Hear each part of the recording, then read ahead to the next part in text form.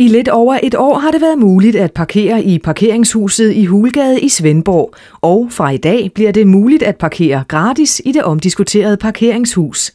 Alt for få bilister har gennem det første år fundet vej til parkeringshuset, som derfor for nylig var på dagsordenen i kommunens Miljø, Klima og Trafikudvalg. Her blev det vedtaget at gøre de første to timers parkering i huset gratis i et forsøg på at få lokket flere til at benytte parkeringspladserne.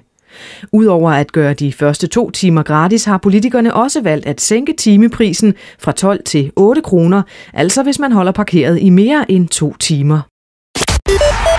Velkommen til Sydfyns Puls, Diablo Play DK.